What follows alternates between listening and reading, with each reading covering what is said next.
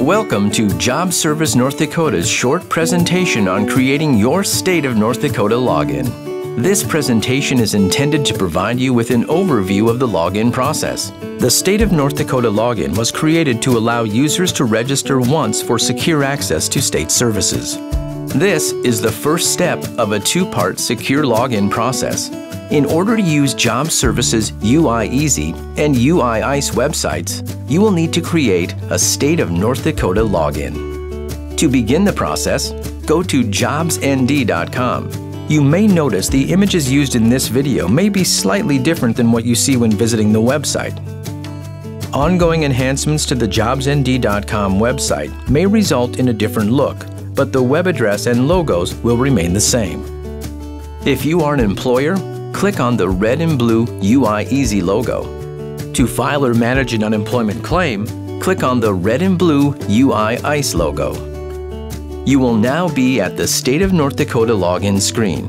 Before you begin, you will need to have access to an email address you own and can log into. This is important because the security code to activate your account will be sent to this email address. Please note, this email address will be used for all future changes to your State of North Dakota account. To begin creating your account, click on the Register Now button. Here, you will be asked to create your login and provide personal details. Next, you'll be asked to provide required security information, which includes an email address and answers to security questions. You may also provide a cell phone number, but this is optional. Providing your cell phone number is strictly to receive the verification code and is not used for any other purpose. After completing the security questions, you'll be asked a question verifying you are not a robot. For example, you may be shown a picture and asked to click on the tiles that contain street signs. After clicking the Create Account button, you'll be asked to verify your security information. You will receive a code at either the email address you entered or as a text message if you entered your cell phone number.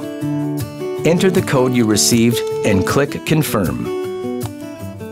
After you have successfully entered the security code, you will receive a message confirming your account activation.